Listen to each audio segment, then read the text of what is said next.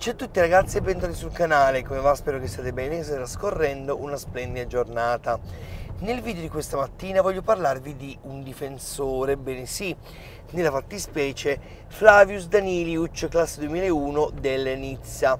E questo perché? Perché le, la Salernitana potrebbe chiudere definitivamente il colpo nei prossimi giorni, ma i giochi non sono ancora fatti perché il Bologna potrebbe ancora seriamente dire la sua.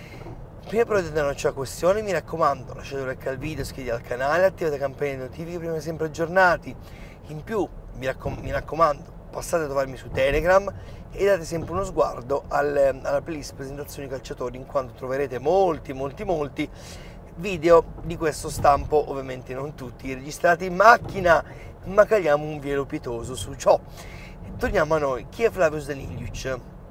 Difensore centrale, classe 2001 eh, del Nizza, nazionale austriaco, un difensore che è cresciuto nelle giovanili del Bayern di Monaco, o meglio, quando era piccolissimissimo era nelle giovanili della, dell'Admira Wacker, poi eh, col tempo ha avuto anche un'esperienza a Real Madrid, poi giovanili Bayern di Monaco, fino alla stagione 2021, stagione nella quale passa a titolo gratuito dal Bayern di Monaco al Nizza squadra nella quale insomma Danilic esplode, nel senso che era già considerato un ottimo giocatore quando era nei giovani del, del Bayern, però poi non ci hanno particolarmente puntato, quindi poi il giocatore ha deciso di andare via a parametro zero e appunto di accasarsi in Francia. E diciamo che in queste due stagioni al Nizza lui ha fatto proprio l'esplosione, ha trovato continuità, ha giocato anche un, un ottimo numero di partite dove ha messo in, ehm, in, mostra anche le sue più grandi qualità, quindi che sono quelle fisiche e um, quelle riguardanti insomma delle letture tattiche veramente interessanti. Un giocatore alto 188 cm, destro di piede, ehm, dalla fisicità veramente importante perché eh, i quadricipiti, quindi le gambe, sono veramente possenti, eh, ma comunque anche abbastanza affusolate allo stesso tempo. Non, sono, non, è ovviamente una stessa muscolatura eh, uguale insomma alla Shakiri, anche perché voglio dire la statura è lievemente diversa, la costituzione è lievemente diversa. La parte sopra del busto è abbastanza mh, importante, insomma stile Barzagli per, far, per farmi capire, quindi spalle larghe, ehm, bacino eh, abbastanza mobile, non particolarmente mobile e gambe lunghe, possenti. Eh, lunghe sì, ma fondamentalmente lui è un normolineo, eh, non è un longelineo, ehm, quindi avendo il baricentro a un equidistante, diciamo così, dai piedi oppure dal baricentro alla testa, mm, non gli fa perdere particolarmente velocità, ha una corsa forte, potente, di grinta, un carro armato. Ehm, ecco, a livello di corsa somiglia un pochino a eh, Johan Vasquez, quindi quella è la corsa molto fisica, piuttosto che di falcata. Ehm, come difensore è un destro di piede, mm, che ripeto gioca molto sull'anticipo, sul, sulla vigoria fisica, raramente è falloso, devo dire questo, raramente è falloso, però è uno che attacca molto l'uomo, uno che ti viene in, in, contro di corsa e, e tenta molto l'anticipo. Eh, è uno che utilizza molto i famosissimi blocks, cioè nel senso che ti sta a quella mh, distanza tale che se l'avversario tenta la giocata con un, un lieve momento, eh, movimento di gambe, diciamo così, o di corpo, comunque ti blocca direttamente il passaggio sul nascere.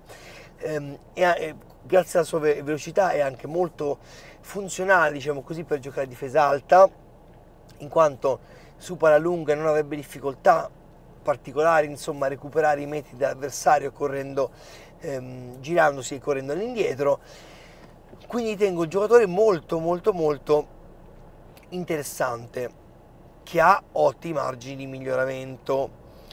Ora, mh, mm, questo giocatore è anche molto utile a livello tattico, perché lui fondamentalmente ha giocato prettamente come difensore centrale, che giustamente è il suo ruolo, ma però in una difesa 4, PS, ma anche come terzino sia sinistro che destro, molto più raramente, il classico terzino di corsa ehm, non il fluidificante che ti va sul fondo e crossa, però quel terzino di corsa, di vigoria.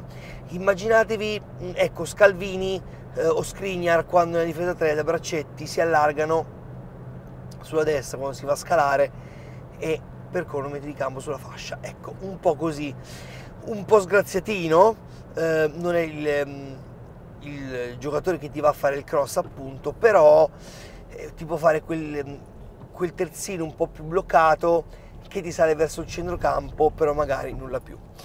Eh, sempre ovviamente una difesa 4. Ora, come vi ho già detto, il giocatore è cercato insistentemente da Bologna e Salernitana.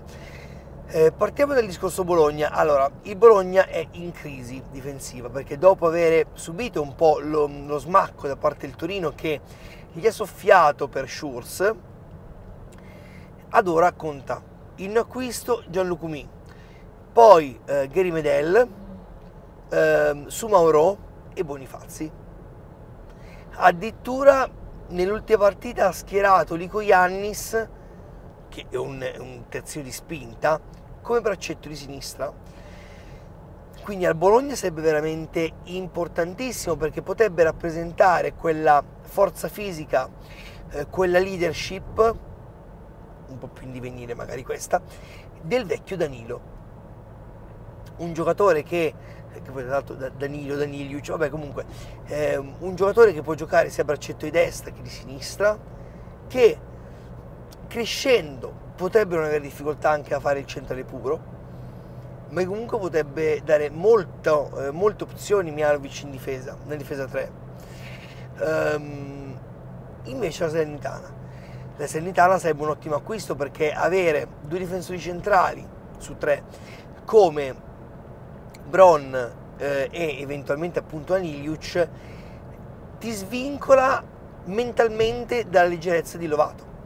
Quando rientrerà, Lovato secondo me sarà un, un cardine difesa della Salernitana, però anche quando era Atalante è sempre stato considerato un po' leggerino, ehm, non il difensore arcigno. Un Lovato eventualmente centrale con Brown braccetto di destra e Danilic del braccetto di sinistra sarebbe una difesa secondo me eccezionale perché andrebbe a ripercorrere le stesse caratteristiche che fondamentalmente avevano Barzagli, Bonucci e Chiellini. Un Lovato un po' più in impostazione, un po' più leggero e due braccetti come Danilic e Bron eh, Bron un giocatore che tenta molto la percussione quando vede un po' di spazio sebbene uno come vi ho detto anche in video di presentazione che gioca molto sul breve medio, eh, breve media distanza. E d'altra parte c'è un Daniliuc che se vede lo spazio lo prende. Più di fisico che di classe però insomma anche Chiellini era così. Più di fisico che di classe. Quindi per entrambi sarebbe un'opzione veramente veramente veramente interessante. Guarda caso due difese che giocano a tre quindi evidentemente hanno visto nel giocatore potenziale, eh, questo potenziale sviluppo nella sua carriera, eh, però ecco non si parla ancora di costi. Eh, si parla però che la Serenitana appunto è intenzionata a chiudere nei prossimi giorni. Stiamo a vedere appunto i costi, quanto saranno, ehm, quanto sarà il prezzo di trasferimento, quanto sarà l'ingaggio, quanto sarà la durata dell'ingaggio, del, del contratto e vediamo un pochino. Spero veramente che questo video vi sia utile per capire un pochino chi sia questo Flavius Daniliuc 2001 del Nizza e se ovviamente il video vi è piaciuto lasciate un like al video, iscrivetevi al canale, attivate la campanella di notifiche per sempre aggiornati, passate a trovare su Telegram e date sempre uno sguardo alla playlist presentazione calciatori vi mando un abbraccione e ci vediamo al prossimo video. Ciao ragazzi!